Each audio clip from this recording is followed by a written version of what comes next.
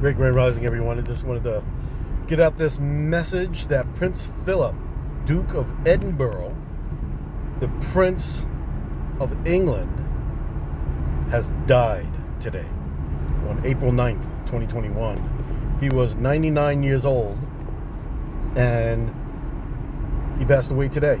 So, uh, major changes in the kingdom of uh, Britain is happening as we speak and around the world. This is going to be extremely significant in terms of how things are progressing. But Prince Edward, Duke of Edinburgh, Prince of England, has passed away.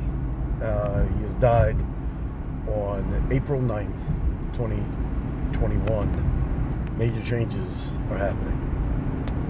Just an update. Peace be with us all. Great Grand Rising.